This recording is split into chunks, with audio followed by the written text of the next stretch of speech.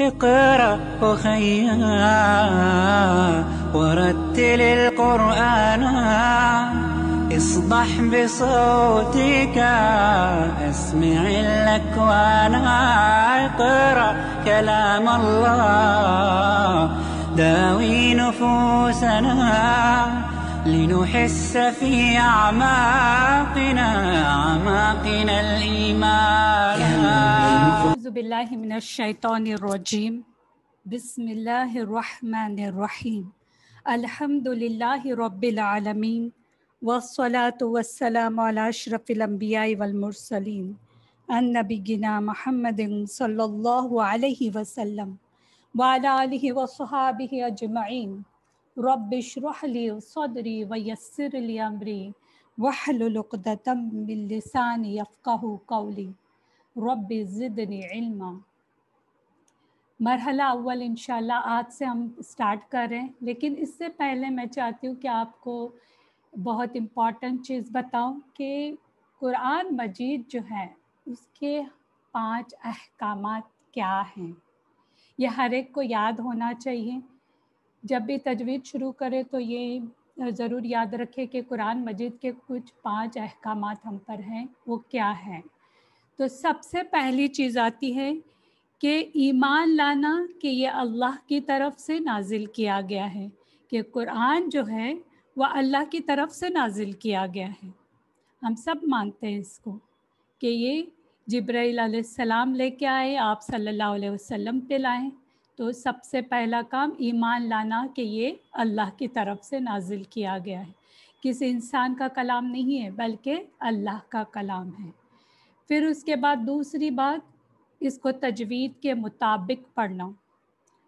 किस तरह से मखारिज निकालने हैं किस तरह से सिफ़ात को अप्लाई करना है ये सारे रूल्स इसके हिसाब से पढ़ना होगा आपको कुरान को।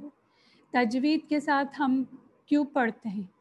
क्योंकि उसके भी आ, आप आगे देखेंगे रीज़न। पहली बात खुश उससे इस दोनों जहानों की सादत होती है। हाँ और इससे खूबसूरती भी आती है। और प्लस सबसे बड़ी चीज़, जैसे जब्राईल सलाम ने लेके आए थे, उसी तरह आप सल्लल्लाहु अलैहि वसल्लम को सुनाएँ, और आप सल्लल्लाहु अलैहि वसल्लम ने हु बहू वैसे ही हमें भी सुनाया। तो जिस तरह से उन्होंने सुनाया, उस तरह से हमें पढ़ना है, तजवीद के मुताबिक पढ़ना है। उसके मखारिज को जानना है, किस तरह को, किस पार्ट से कौन सा मखरज निकलता है, कौन सा लेटर कोई का मखरज क्या है, वो सारी चीज़ें हमें मालूम होनी चाहिए। साथ साथ सिफात क्या है उसकी, कलकला कहाँ करना है, कहाँ सिटी की आवाज़ निकालनी है। तो ये जो कुरान है, उसको तजवीद के मुताबिक पढ़ना हमारे लिए दूसरा अहकाम में से दूसरा हुक्म है। तीसरा जो है, तीसरी चीज़ है इसको समझ कर पढ़ना।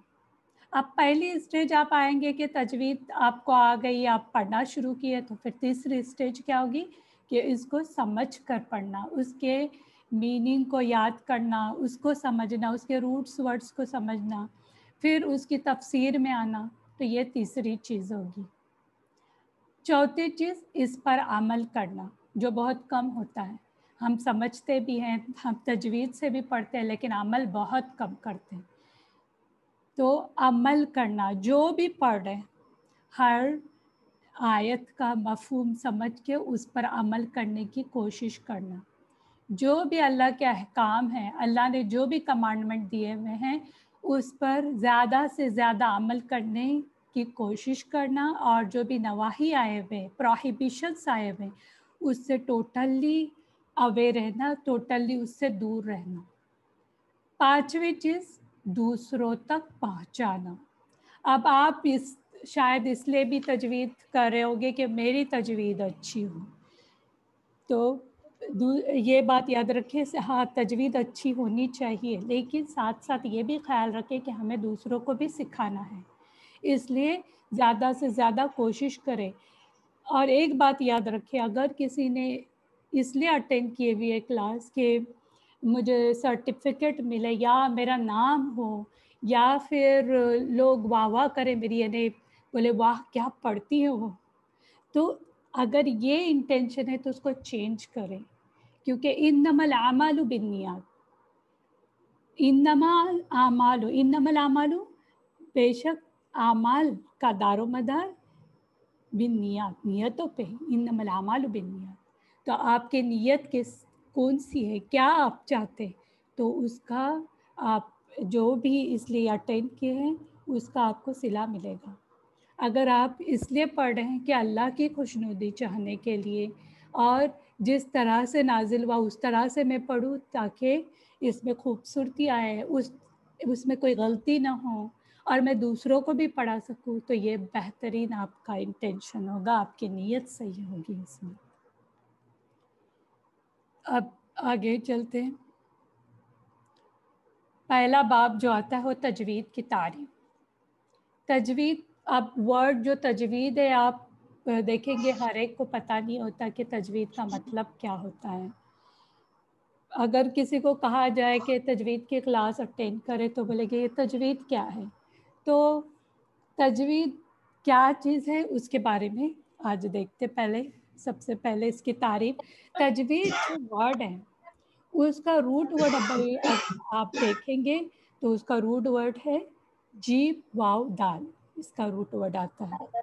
जवद जवद यू जवदु तजवीद। इसका मतलब क्या है? जवद का मतलब हरूफ को सुथरा करना उम्दा करना सवारना। तो जवद का मतलब क्या है? हरूफ को सुथरा करना, उम्दा करना, संवारना। ये जवद का मतलब होता है। तो यहाँ पर देखिए, एक लुगवी मानी भी आ गया है। लिंग्विस्टिक मीनिंग जो कहते हैं वो। किसी काम को उम्दा तरीक़े से करना, इसका तजवीद का माना होता है। Linguistic meaning. कि किसी भी काम को उम्दा तरीके से करना, बोलते ना जैद है ये। बहुत उम्दा तरीके से करने को कहते हैं। तो किसी भी काम को उम्दा तरीके से करना, ये तजवीद कहलाता। अब इस्तलाही मानी में देखें, जो इस्तलाही मानी है वो क्या है? हरूफ को उनके मुकर मखारिज से, सिफ़ात लाजमा और सिफ़ात आरजा के साथ पढ़ना। अब ये डेफिनेशन पढ़ने के बाद कंफ्यूज ना हो इजी करके बता देती हूँ कि हरूफ को उनके मुकर मखारिज मुकर्रा मखारिज ने जो अल्फ़ाबेट्स है अली बाता, हर एक के कुछ ना कुछ मखरज होते हैं वो लेटर किसी न किसी पार्ट से अदा हो रहा है।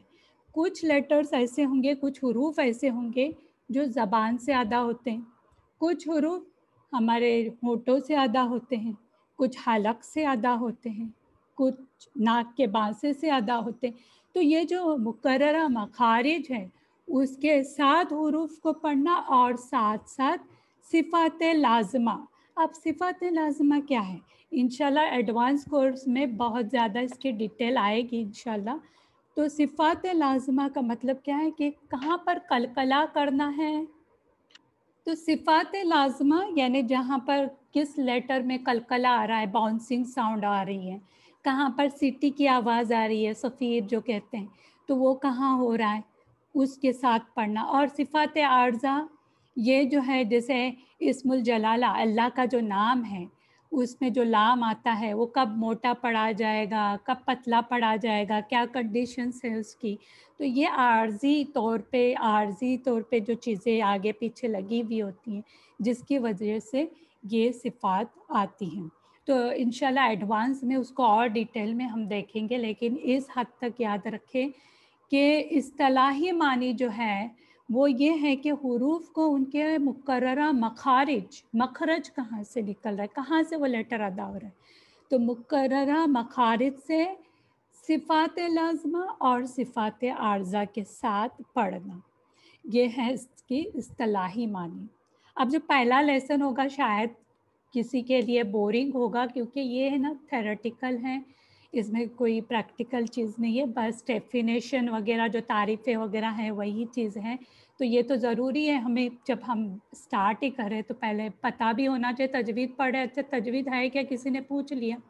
अब हमें नहीं मालूम तजवीज़ बस हम पढ़ते हैं, वो क्लास होती है, उसमें कुछ मखरज बताते एक्चुअल में बोलना नहीं आ रहा। है तो कहेंगे कि ये क्या बात है, कोई, कौन सी क्लास कर तो ये चीज़ इसलिए हम पढ़ाते हैं कि पहला लेसन हो सकता है किसी के लिए बोर हो, लेकिन फिर भी नॉलेज के लिए मालूम होना चाहिए कि हम क्या पढ़ रहे हैं।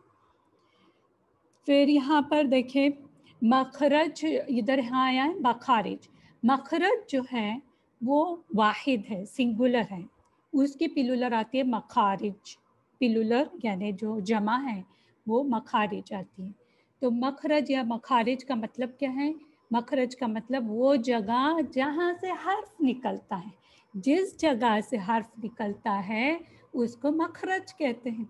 मखरज का रूट वर्ड अब भी देखें। खराजिम खरज।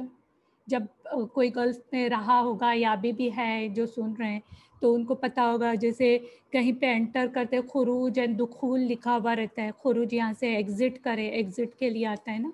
तो उसी से है खुरूज खाराजिम इवन हम उर्दू वाले भी खारिज होना बोलते हैं। तो जहाँ से वो हर्फ निकलता है, उसको मखरज कहते हैं और मखारिज उसकी जमा है।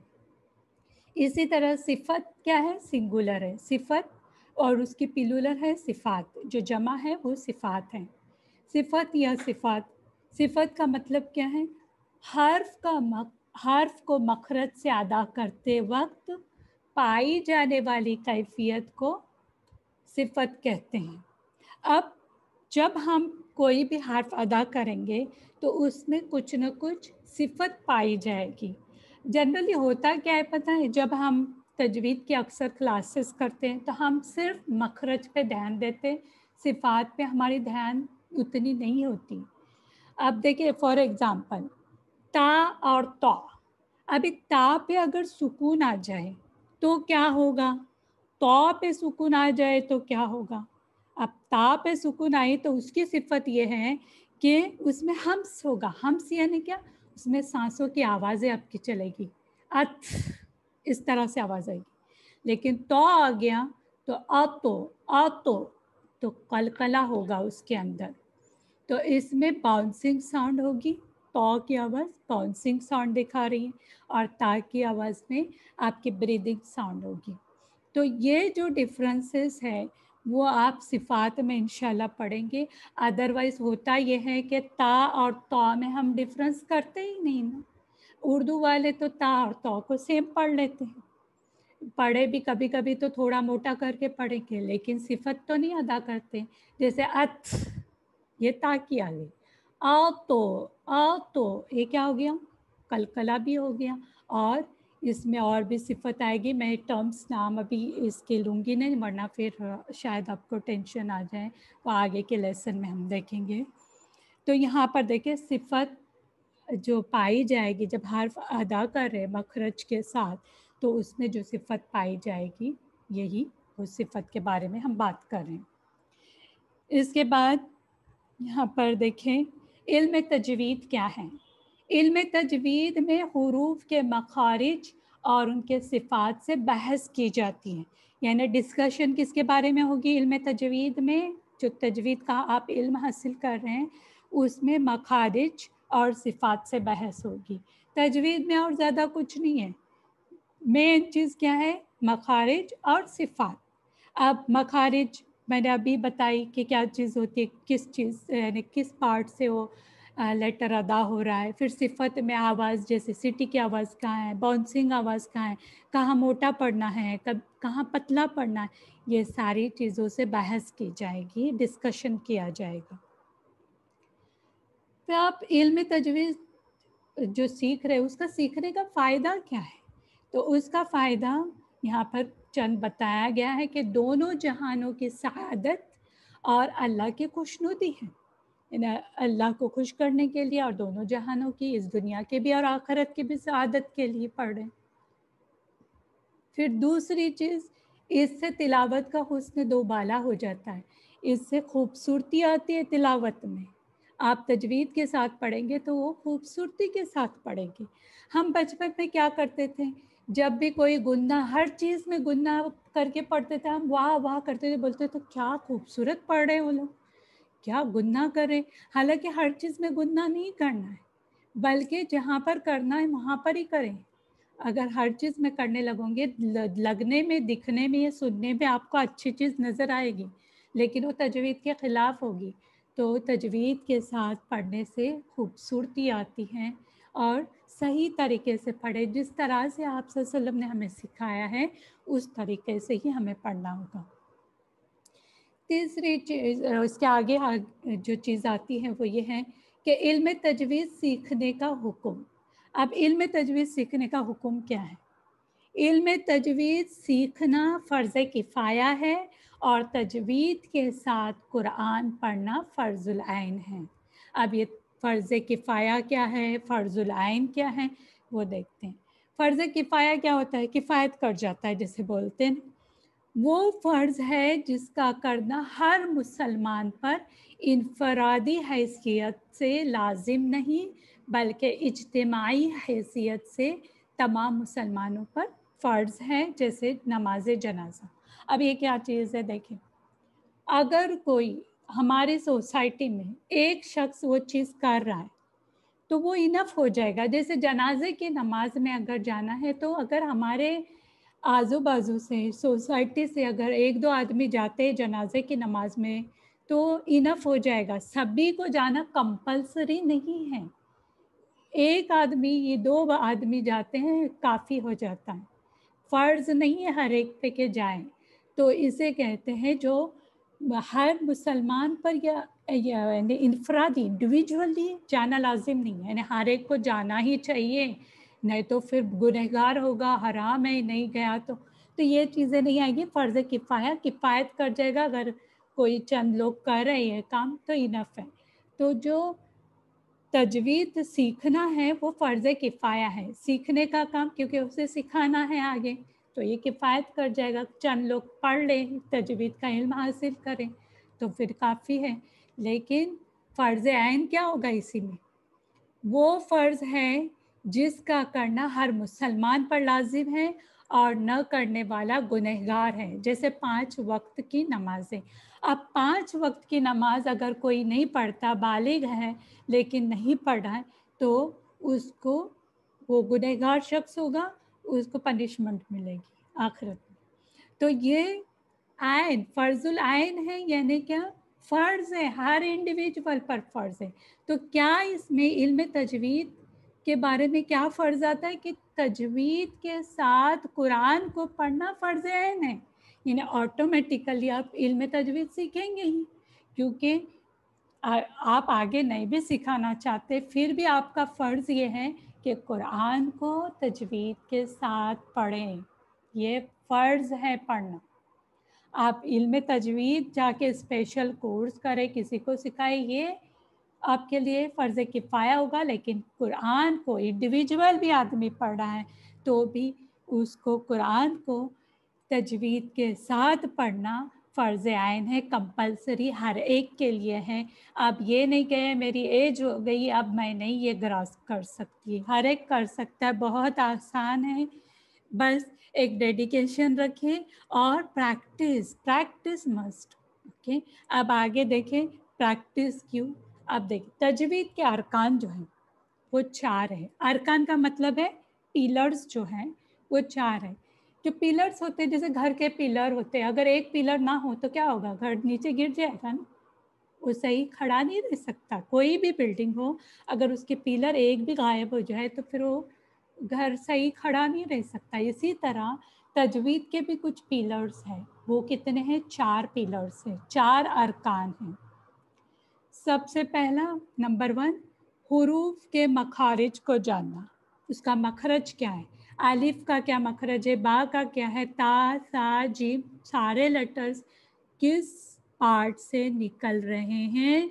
उसके उसके मखारिज को जानना, ये सबसे पहला पिलर दूसरा क्या है?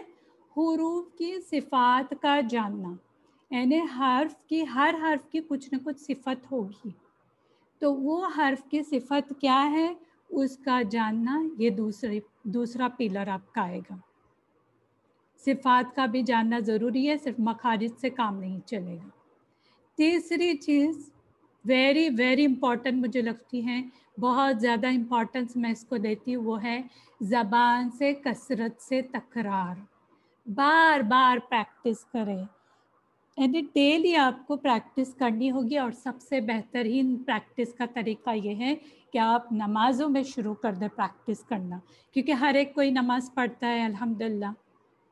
तो वो नमाज़ के अंदर ये प्रैक्टिस कर दे। आज सब जो किसी ने एक लेटर इसका हरूफ हल्किया का समझ लिया तो जैसे गैन का मखरज आ गया तो उस गैन को लेके बैठे, जहाँ कहीं भी नमाज़ में आप किरायत कर रहे हैं जहाँ कहीं गैन आ गया तो उसको उस तरह से पढ़ना शुरू कर दे। फोकस करे वही लेटर पे पहले। तो ज़्यादा से ज़्यादा प्रैक्टिस इसके बगैर काम नहीं चलेगा। फिर चौथी चीज़ है किसी माहिर उस्ताद से पढ़ना। कोई जो एक्सपर्ट टीचर है उससे पढ़ना ये चौथी चीज़ आएगी। uh, मैं भी स्टूडेंट हूँ मैं भी कोशिश कर रही हूँ इन क्या और भी आ, मेरी और तजवीज़ अच्छी हो। तो ये चार पिलर आएँगे। सबसे पहले हरूफ के मखारिज का जानना, फिर हरूफ की सिफात का जानना, ज़बान से कसरत से तकरार और किसी माहिर उस्ताद से पढ़ना। ये चार पिलर्स आएँगे। अब आप कहेंगे कि मैं, मुझे तो मखारिज बहुत अच्छे आते हैं, मैं तो सिफात भी बहुत अच्छे से, मुझे पता है मैं करती भी हूँ, इस तरह से पढ़ती हूँ और मेरे पास माहिर उस्ताद भी हैं। लेकिन मुझे वक्त नहीं मिलता है कि मैं उसकी ज़्यादा से ज़्यादा प्रैक्टिस करूँ। तो फिर क्या होगा? तो नहीं, ये भी एक इंपॉर्टेंट पिलर है। इसमें से एक भी अगर पिलर गायब हो जाए ना अरकान कोई भी रुकन गायब हो जाए तो आप तजवीद नहीं कर पाएँगे सही से। तो तजवीद के लिए चारों चीज़ ज़रूरी हैं। मखारिज सिफात, कसरत से तकरार और माहिर उस्ताद। तो ये चारों चीज़ें आपके लिए होनी ज़रूरी है। आप कोई भी ये नहीं कर सकता कि क्लास पे डिपेंड रहना। आपने जब भी क्लास की, जाके पहले किरात सुने, जो भी, जैसे आपके गैन अभी सही नहीं हो रही तो ढूंढे, कौन से सूरा में गैन ज़्यादा आई हुई है। तो मैं हमेशा ये करती हूँ मुझे स्टूडेंट पूछते भी हैं कि हम किसकी किरात सुने? तो कुछ कहते कि आप एकदम इजी वाली सुने। मैं बोलती नहीं, आप सबसे डिफ़िकल्ट वाली सुने और सबसे बेस्ट वाली सुने। सारे बेस्ट है किरात सारे बेस्ट है अल्हम्दुलिल्लाह सारे स्कॉलर ने, सारे कारियों ने बहुत अच्छी रिसाइटेशन की हुई है। लेकिन तजवीद सीखते वक्त मैं दो कारियों का रेफरेंस देती हूँ। मैं कहती हूँ, सिर्फ़ इन दोनों को सुनो। उसके अलावा आप फ़िलहाल जब तक आपकी तजवीज़ सही नहीं होती, तब तक किसी और को सुनने नहीं जाए। पहले एक तो शेख आयमन सुवैद हैं, ये सीरियन हैं और अल्हम्दुलिल्लाह उन्होंने बहुत तजवीद के लिए काम किए हुए हैं, अभी भी कर रहे हैं। तो उनका सुने अरबी में उनके लेक्चर्स भी मौजूद है, अगर आपको अरबी लैंग्वेज समझती है थोड़ी बहुत तो वो भी आप कर सकते या तो उनके रिसाइटेशन भी यूट्यूब पे अवेलेबल है। तो उनका सुने सेकंड जो है शेख अब्दुल बासित जो है, उनकी सुने, उनकी भी दो तरह की किरात आती है। एक तो किरात है उनकी, जो उन्होंने फास्ट पढ़ी हुई एक है बहुत ही एकदम खींच के और बहुत टाइम लगा के तो वो जो तजवीद के साथ पढ़ी हुई है वो आप उनकी सुने तो फिलहाल दोनों को ही सुने ताकि आप के परफेक्शन में भी और ज़्यादा इजाफा हो इन